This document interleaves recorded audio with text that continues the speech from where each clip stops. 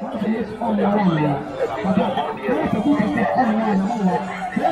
is a busy city with lots of people trooping in from villages and interland in search of greener pastures. A highly populated city in West Africa with the dominant local language, Twi, Ga, and a few English speaking people is where Chymny Crane was born in the Korle Bu Teaching Hospital in 1986. Born to Mr. and Mrs. Daniel Darfour, with whom Chymny grew up on the principles of uprightness and discipline, with education being his father's priority. The young chap was educated in Ave Maria School, a Catholic junior high school where he discovered his potential with words, not just musically but writing in general, as he used to top his English compositions and quizzes. Later, he moved on to Achimota School in 2001. In between these times, Chymny Crane had developed his love for music and was already pursuing it with his writing pad. Putting down battle flows, he became a beast out there and one that most would not just pick out easily.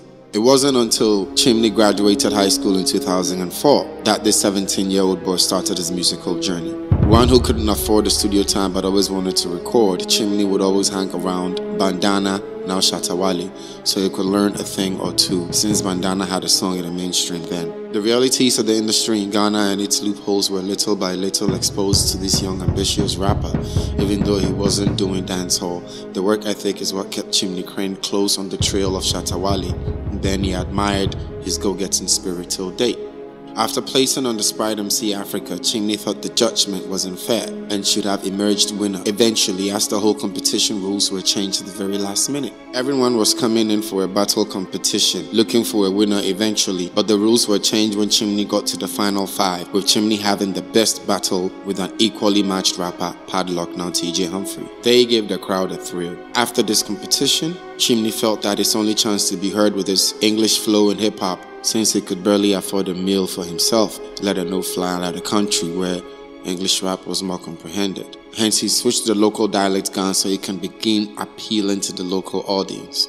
Later, he dropped a smashing hit single in 2013 titled Oyeho, a song to create awareness on teenage pregnancy. That got him nominated in the Ghana Music Awards for Music for Development category for that year. Chymny lost that to a bigger brand and got him reflecting on the lessons he learned from his predecessor Shatta Wale with respect to the loopholes and twitches in the music industry, players to say no to artists they do not own. Never giving up on the quest to find a big deal or a team who would believe in the bigger picture, Chymny pressed on through so many obstacles such as a car accident, a stab attack to be robbed, and a fire outbreak that lost all his belongings and nearly lost his life as well. According to eyewitnesses, Chymny had to dive through the fire and landed on his shoulder that got cracked and fractured, just like in the movies.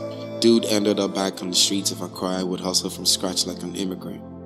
He is focused and knows what he wants, though he gets misunderstood sometimes.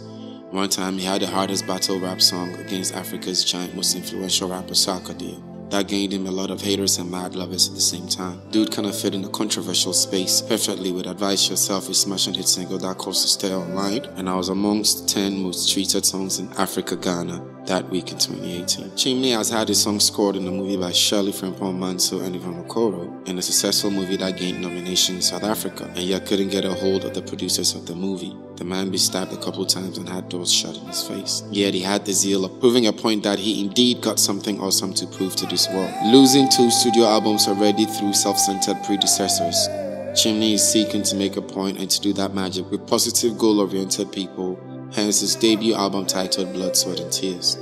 This hustler ain't stopped at nothing and got lots in his closet. Recently in October, Shatta Wale asked his fans if he could sign Chymny Crane onto his Shatta Movement label. The response online went crazy as everyone was for it. It even brought the street campaign and people from all walks of life, cheering for it to happen. But the whole thing came crashing when the two had a misunderstanding about an opinion, which resulted in the dancehall king forgetting about Chymny Crane and wishing him well on his musical journey. This rapper is so optimistic and respectful that even though he wasn't wrong with his opinion, he still went ahead to make a post to apologize just to keep calm to his old predecessor and motivator. However, this young king is on his hustle and hopes to make waves to attract potentially good or better deals in the near future with his first album titled Blood, Sweat and Tears.